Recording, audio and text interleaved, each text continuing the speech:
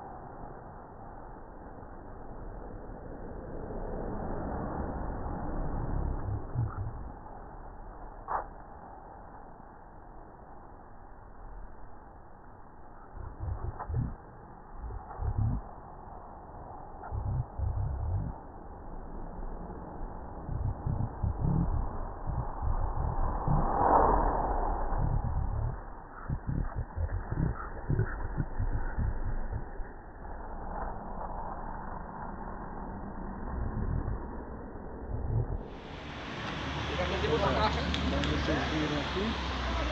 O rapaz mexeu, né? Mexeu mais um pouco aqui também, apertou. Mas não era isso que eu queria. Eu acho que não vai ficar bom.